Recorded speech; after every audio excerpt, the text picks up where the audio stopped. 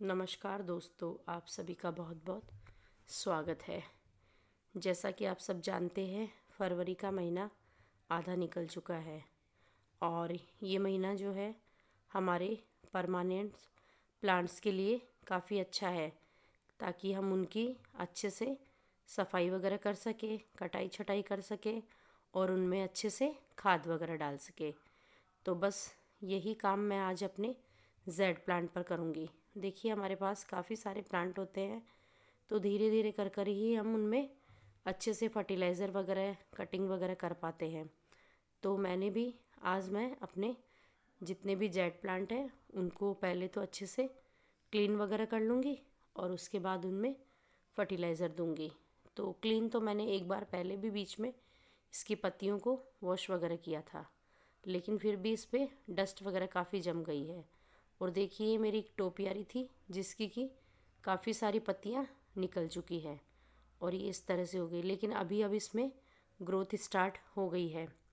तो इसकी भी मैं अच्छे से पहले पत्तियों वगैरह को साफ़ कर लूँगी पानी से, ताकि ये जितनी भी धूल मिट्टी है, सारी हमारी प्लांट से साफ़ हो जाए।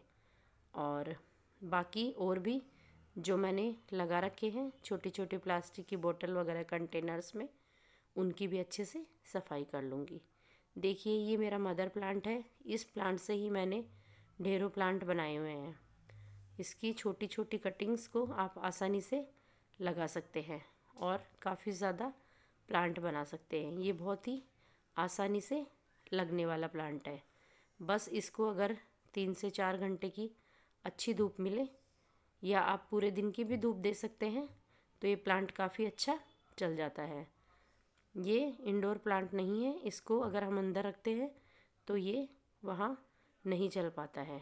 बस इसको अच्छी धूप चाहिए तो ये कहीं पर भी आसानी से चल जाता है।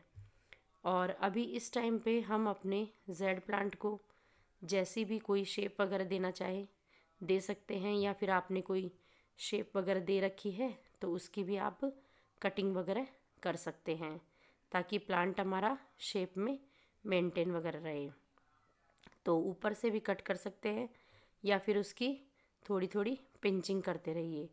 पिंचिंग करने से, जहाँ से आपने उसको पिंच किया है, वहाँ से उसमें दो से तीन ब्रांच निकलेगी, और प्लांट हमारा काफ़ी घना हो जाएगा। तो ऊपर से इस तरह से दो से तीन पत्तियाँ हटाकर उसको पिंच कर दीजिए। और अगर आपको लगे कि इस तरह से अगर पत्तियाँ वगैरह गिरी हुई है तो उस ब्रांच को भी थोड़ा थोड़ा कट कर दीजिए ताकि प्लांट देखने में अच्छा लगे। तो इस तरह से मैं थोड़ी थोड़ी उसकी कटिंग वगैरह कर लूँगी सभी प्लांट की। और इस, ये जो इसमें मैंने प्लांट लगाया हुआ है, इसको मैंने थोड़ा ट्री की शेप दिया है। तो चार से पाँच कटिंग को एक साथ लेकर के किसी भी धागे की मदद से बाँध दीजिए और उसको लगा दीजिए। तो ये एक पेड़ की तरह दिखने लग जाएगा।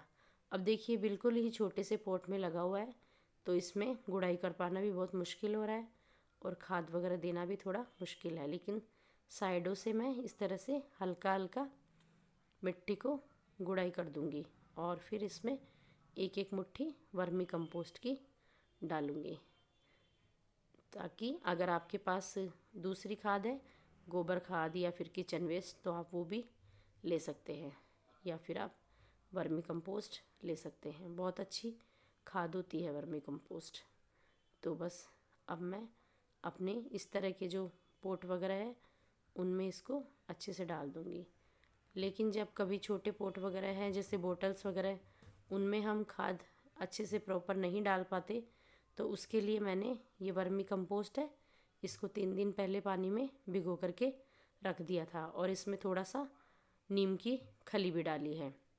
तो अब इसको मैं काफ़ी ज़्यादा पानी में डाल करके इस तरह से मिक्स कर लूँगी। यानी कि चार से पाँच लीटर पानी में एक लीटर पानी को मिक्स कर लेंगे और अब ये मैं अपने सभी उन्हीं जेड प्लांट में डालूँगी जो बोटल्स वगैरह में है, जहाँ पर इनमें खाद देना थोड़ा मुश्किल हो जाता है, जिनमें हम गुड़ाई वगैरह नहीं कर पाते हैं। तो आप ये इस तरह की कंपोस्ट टी बना करके अपने सभी प्लांट को दे सकते हैं। देखिए, इसको लगाना बहुत आसान है। ये छोटे से छोटे कंटेनर में बहुत आसानी से चल जाता है। प्लास्टिक की बोतल, डिब्बे, कहीं पर भी आप लगा सकते हैं। और जितनी भी अब कटिंग्स वगैरह निकली है, उनको भी हम बेकार नहीं फेंकेंगे। कटिंग वगैरह निकलती रहती है तो इस तरह से मैं तो उनको लगाती रहती हूँ, ताकि हमारे और भी प्लांट बनते रहते हैं। तो बस मिट्टी में एक हिस्सा गार्डन सोइल है और थोड़ी सी रिवर सैंड डाली है, जिससे हमारी कटिंग अच्छे से चल जाएगी। और इसकी छोटी सी कटिंग भी आप आसानी से लगा सकते हैं। आप चाहे तो बड़ा पोट भी ले सकते हैं, लेकिन मैं इस तरह के छोटे पोट्स में लगाऊँगी। बाद में अगर कोई बड़ा पोट हुआ तो उसमें फिर इसको शिफ्ट कर दूँगी। बिल्कुल इसकी छोटी से छोटी कटिंग भी आसानी से लगाई जाती है। और ये प्लांट देखने में भी बहुत सुंदर लगता है और इसकी पत्तियाँ भी बहुत ही खूबसूरत लगती है। बस आप इसमें पानी का ध्यान रखिए। पानी इसको बहुत ही कम देना है या फिर मिट्टी को ऊपर से तीन से चार इंच सूखने के बाद ही इसमें डालना है। और कटिंग लगाने पर बस कटिंग में भी पानी का ध्यान रखना है आपको कि इसमें हल्का सा ही हम स्प्रे करेंगे। मिट्टी मेरी पहले से गीली है, ज़्यादा नहीं इसमें पानी डालना है और किसी छाया वाली जगह पे रख देंगे। तो फ्रेंड्स, यही था बस मेरा आज का वीडियो। अगर वीडियो आपको अच्छा लगा है तो इसे लाइक कीजिए शेयर कीजिए और चैनल पर अगर नए हैं तो इसे ज़रूर सब्सक्राइब कीजिए। आप सभी का वीडियो देखने के लिए बहुत बहुत धन्यवाद।